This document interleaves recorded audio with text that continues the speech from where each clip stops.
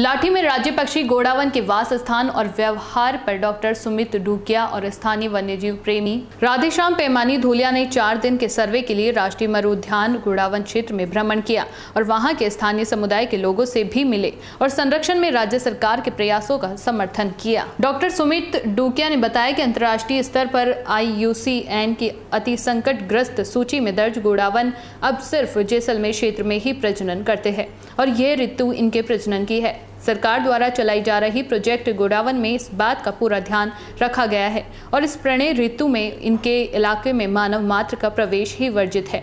इसलिए दूरबीन से बहुत दूर से इनके व्यवहार को देखा जा सकता है। स्थानीय वन्यजीव प्रेमी राधेश्याम पैमानी और धोलिया खेतोलाई क्षेत्र के लोग भी खेतोलाई धोलिया, श्री भादरिया राय के औरण क्षेत्र में गोडावन सर्वे में शामिल रहे।